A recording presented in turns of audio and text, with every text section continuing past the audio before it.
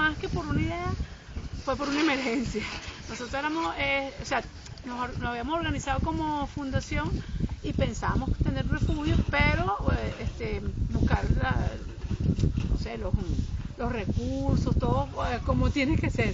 Pero se presentó una, una emergencia con dos perras, una ya murió, no sé ella, vive en un escritorio que está ahí adentro que nos regalaron hace años.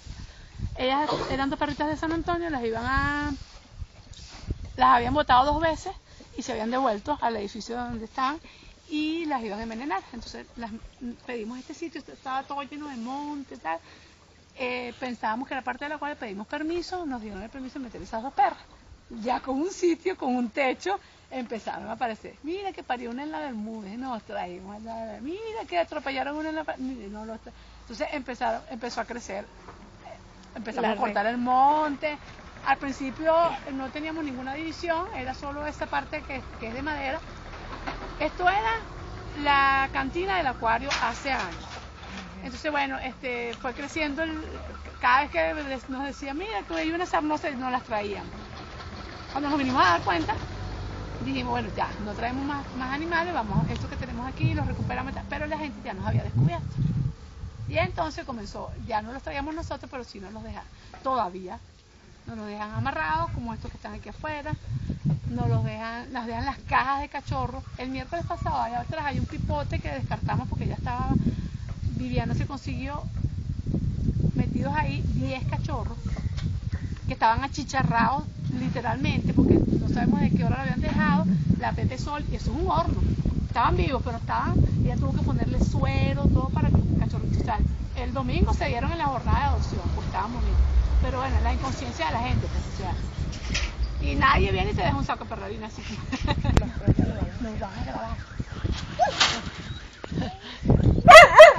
Ok, ¿y quiénes participan acá con la fundación que tienes? Bueno, mira, nosotros somos fundadoras, estamos cuatro personas. Este, Viviana, que está allá adentro limpiando, Marieta, que ya viene por ahí, eh, Gabriela Zúcaro, que es otra, otra docente, y yo. Y alrededor de nosotros están otras personas que están como colaboradores, bueno, voluntarios, no sé cómo llamarlo. Este, somos, además de nosotros cuatro, hay cuatro personas más que están todo el tiempo en la fundación. Y siempre hay, como, como en suma, colaboradores así, mm, o sea, ¿cómo se llamaría eso? Eh, no fijos, como no más fijo, esporádicos. Es, esporádicos, exacto, Ah, colaboradores esporádicos. Y tú pensaste, tú eres docente, ¿no? Yo soy docente. ¿Tenías pensado en algún momento de tu vida que ibas a tener esta hermosa labor, que ibas a ser responsable de tantas vidas, tantas energías acá? Bueno, mira, la verdad, sí. O sea, no. no- Sí, sí. Sí, qué bueno, sí, qué exacto. bueno. Siempre, siempre me gustaron los animales. Y cuando dije, bueno, ya está bueno nada más de llevarle la, la bolsita de comida a tres, cuatro perritos por ahí, por donde yo vivo, vamos a organizarnos. Porque éramos varias, porque siempre andábamos en lo mismo. Como tú dices que viaja la señora Ana María, que le- Ajá. dije, bueno, ok, pero vamos a hacer algo más allá, pues vamos a organizarnos como fundación y a ver qué más podemos hacer, o sea, porque no es solamente el refugio, nosotros hacemos jornadas de esterilización, hacemos jornadas de, de adopción, hacemos jornadas de vacunación y, y además cualquier perro que nos llaman por ahí por la calle, mira, hay un perro atropellado, hay un perro con gusano, hay un perro, este, nosotros también lo, El, asistimos. el boom de internet, me estabas comentando que a través del Facebook habías tenido más ayuda, de repente quieres decir tu, tu página, tu espacio en internet para, para crear más colaboradores, para llamar a más almas que estén dispuestas a, a colaborar. Bueno, mira, yo utilizo mi, mi usuario, o sea, la negra Arteaga, que, que soy yo, este, funge como página. Igual hay otra, eh, se llama Ayudando a Fanproa, que, que lo lleva una muchacha colaboradora también. Viviana, también su, su usuario, Viviana con B alta las dos. Viviana. Viviana, Viviana Valencia de Rebete, también aparece como, como de Fanproa. Pero tienes perfil como tal en Facebook. Eh, los, los, los personales de cada uno. Solamente ayudando Ah. a Fanproa sí es la única que es eh, Del que, que, que no es de personal de nadie, sino del, de del la espacio como tal. Ayudando a Fanproa se llama la- la- Ayudando a Fanproa, excelente. Twitter, Twitter, eh, bueno, yo tengo mi Twitter personal que también. También lo, usas es para la y fundación. Se, y se llama así La Negra Fanproa. La Negra Fanproa. Arroba La Negra Fanproa. Nos, nos reunimos en un grupito muy pequeño de personas, algunos siguen, otros ya no están, y decidimos registrarnos y conformarnos en una, en, un, en una agrupación que les diera calidad, tratar de darle calidad de vida a los animalitos protegidos. Entonces, realmente el refugio no nace de una forma eh, espontánea, sino que, que fue, una necesidad, fue una necesidad. Y no es que los hayamos traído todos para acá, sino que nos los, constantemente nos los están abandonando en la puerta. Eso, eso, es, eso es en sí lo que es el refugio. Pero como la labor de, de FANPROA, de la fundación, no solamente es atender el refugio, sino muchas otras cosas más. Entonces, mm, de ahí la necesidad de contar con más personas que puedan prestar ayuda, no solamente al refugio, sino en otro tipo de cosas, como en la, búsqueda de recursos, como, como en la proyección, en la educación hacia las personas. hay muchas formas de ayudar que no son simplemente o solamente, que es bastante arduo, el trabajo de refugio.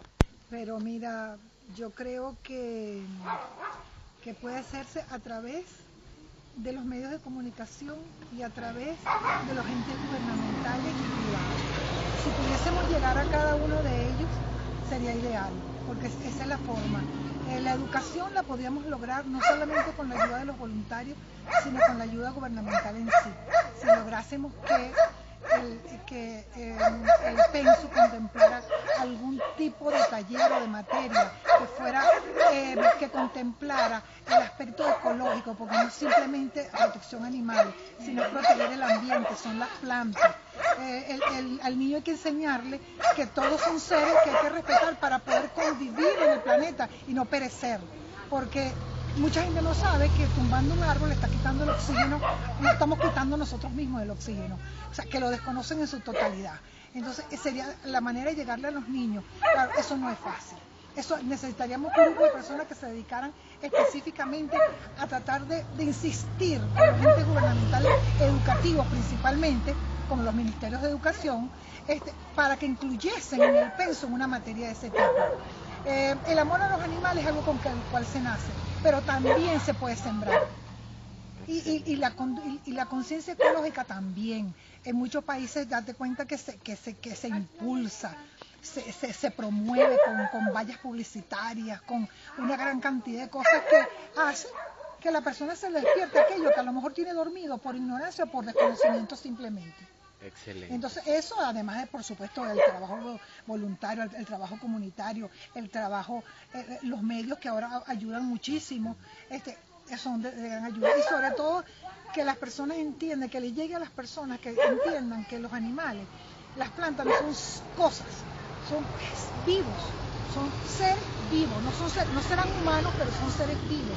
Que no, no, es, no es que lo tengamos que, que el momento que están enfermos o viejos o, por alguna circunstancia, entonces puede ser botado como, como cualquier silla vieja que tú tienes en tu casa que no la quieres ver más, porque ese animal siente y padece, tiene, tiene sangre, tiene tejidos, tiene músculos y también tiene corazón, que él le duele y se siente solo, se siente desamparado y se siente enfermo en la calle cuando es eh, botado por una o X razón, que por eso es que está el refugio como está. Por, ese tipo de conciencia, ese tipo de personas que no llegan a eso. Y ya te digo, a veces no creo totalmente que sea cuestión de inconsciencia, o sea, de, de, maldad. A veces no creo que haya tanta maldad en el ser humano, sino eso, que no se, no se le ha llegado a esa conciencia y esa educación.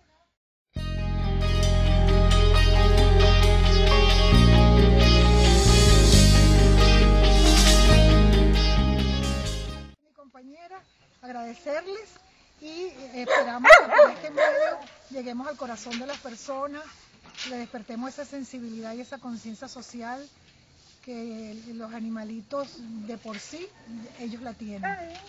Muchas gracias.